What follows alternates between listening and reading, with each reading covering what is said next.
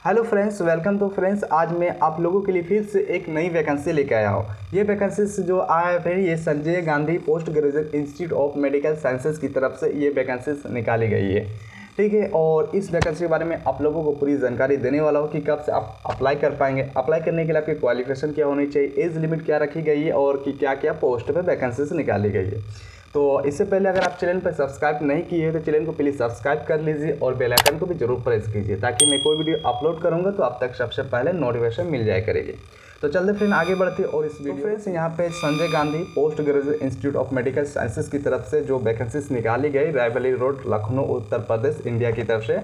तो यहाँ पे सबसे पहले बात करते हैं यहाँ जो पोस्ट है नेम ऑफ़ द पोस्ट तो पहला पोस्ट है सिस्टर ग्रेड टू के लिए इसमें आपका जो पेज के रखा गया चौवालीस हज़ार नौ सौ से लेके एक लाख बयालीस हज़ार चार सौ रुपया।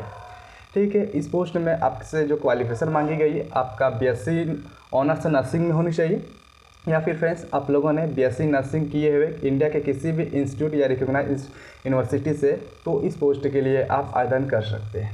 ठीक है, इसके बाद यहाँ पे, इसके अलावा फ्रेंड्स जो मांगी गई है आपसे B S C post graduate होनी चाहिए।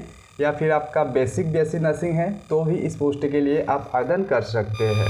ठीक है, इसमें एक्सपीरियंस की बात करें तो एक्सपीरियंस आपका मांगी गई है।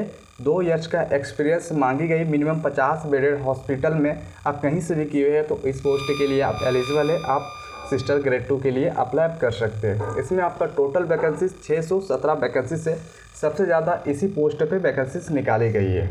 इसके बाद जो अगला पोस्ट की बात करेंगे तो सेकंड जो पोस्ट है जूनियर मेडिकल लेबोरेटरी टेक्नोलॉजिस्ट के लिए। इसमें आपका जो पेज के रखा गया, उनतीस हज़ार दो सौ से लेकर बिरानवे हज़ार तीन सौ रुपया रखी गई है।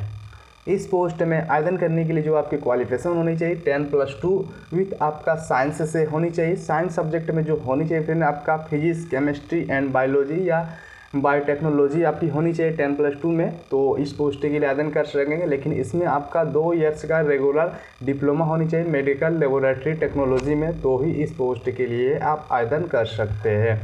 इसमें आपका टोटल वैकेंसीज तेईस निकाली गई है। इसके बाद यहाँ पे आप नेक्स्ट पोस्ट की बात करते हैं तो मेडिकल लेबोरेटरी टेक्नोलॉजिस्ट में, इसमें आपका जो पे स्केल मिलेगा वो पैंतीस हज़ार चार सौ से लेके एक लाख बारह हज़ार चार सौ रुपया इसमें पे स्केल रखी गई है।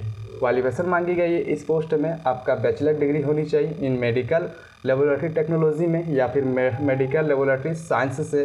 तो इस पोस्ट के लिए आवेदन आप कर सकते हैं, लेते लेकिन इसमें आपका टू इयर्स का एक्सपीरियंस होनी चाहिए। Laboratory attached with hospital having minimum 100 beds वाला हॉस्पिटल में अगर आपका है वो टू इयर्स का एक्सपीरियंस तो इस पोस्ट के लिए आप आवेदन कर सकते हैं। इसमें आपका टोटल वैकेंसीज है, इस पोस्ट में मेडिकल लेबोरेटरी टेक्नोलॉजिस्ट में एक सौ चौंतीस वैकेंसीज इस, इसके बाद फ्रेंड्स, यहाँ पे अगला पोस्ट है टेक्नीशियन रेडियोग्राफी के लिए। तो इसमें आपका जो पे स्केल आप लोगों के लिए यहाँ पे रखा गया, पैंतीस हज़ार चार सौ से लेके एक लाख बारह हज़ार चार सौ रुपया। क्वालिफिकेशन आपसे जो मांगी गई है, इस पोस्ट में आवेदन करने के लिए, वो आपका टेन प्लस टू होनी चाहिए विथ साइंस से। और यहाँ पे आपका दो ईयर्स का डिप्लोमा होनी चाहिए रेडियोलॉजी या फिर यहाँ पे आपका फ्रेंड्स यहाँ पे रेडियोथेरेपी में है तो इस पोस्ट के लिए आप आवेदन कर सकेंगे, लेकिन इसमें भी एक वन ईयर्स का एक्सपीरियंस मांगी गई है। इस पोस्ट में आपका टोटल वैकेंसी चार है। इसके बाद फ्रेंड्स यहाँ पे टेक्नीशियन रेडियोलॉजी में आपका जो पेज के रखा गया है, इसमें भी सेम रखी गई है, देख सकते हैं। क्वालिफिकेशन आपसे मांगी गई है टेन प्लस टू होनी चाहिए विथ साइंस से, और इसके बाद यहाँ पे आपका दो ईयर्स का डिप्लोमा होनी चाहिए। रेडियोग्राफी टेक्निक्स में तो इस पोस्ट के लिए आवेदन कर सकेंगे लेकिन इसमें भी एक ईयर्स का एक्सपीरियंस मांगी गई है। ठीक है? इसके बाद फ्रेंड्स, यहाँ पे बात करते हैं, अगर टेक्नीशियन रेडियोलॉजी में अगर अप्लाई करेंगे आपका तो अगर आपका बीएससी ऑनर्स से है और तीन ईयर्स का आपका एक्सपीरियंस है रेडियोग्राफी में, किसी भी किसी भी इंस्टीट्यूट से है तो आप आवेदन कर सकते हैं टेक्नीशियन रेडियोलॉजी में। ठीक है? इसमें आपका टोटल वैकेंसी छब्बीस है। इसके बाद फ्रेंड्स, यहाँ पे ड्राइवर ऑर्डिनरी ग्रेड के लिए यहाँ पे है। तो इसमें आपका जो पे स्केल दिया जाएगा, उन्नीस हज़ार नौ सौ से लेकर तिरसठ हज़ार दो सौ रुपया।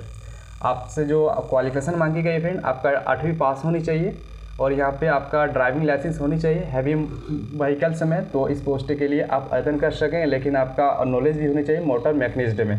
ठीक है? ड्राइवर के लिए यहाँ पे दस वैकेंसीज निकाली गई है। इसके बाद जो अगला पोस्ट है फ्रेंड, यहाँ पे कटा हुआ है तो छोड़ देते हैं, यहाँ पे आप लोग देख लीजिएगा। इसके बाद फ्रेंड्स, अब बात कर लेते हैं कि इस पोस्ट डे में आप कब से आप आवेदन कर सकेंगे। तो आवेदन करने के लिए जो आपका स्टार्टिंग डेट है, वो 10 जुलाई से आप इस पोस्ट के लिए आवेदन कर सकेंगे। अप्लाई का अमाउंट ऑनलाइन रखी गई है और यहाँ पे बात करें कि इस पोस्ट में आवेदन करने की लास्ट डेट क्या रखी गई है तो इसका डेट अभी मैंसन नहीं किया गया है, ठीक है? इसमें आवेदन करने के लिए जो आपका अप्लीकेशन फ़ी लगेगा, वो जनरल ओबीसी के लिए पाँच सौ और एस सी कैंडिडेट के लिए यहाँ पर तीन सौ रखी गई है। अप्लाई का मोड भी ऑनलाइन है और पेमेंट का मोड भी ऑनलाइन रखी गई है। ठीक है फ्रेंड्स तो मैं उम्मीद करता हूँ कि आप लोगों को ये वीडियो पसंद आई होगी और वीडियो पसंद आया तो लाइक करें सब्सक्राइब करें और बेलाइकन को भी ज़रूर प्रेस करें।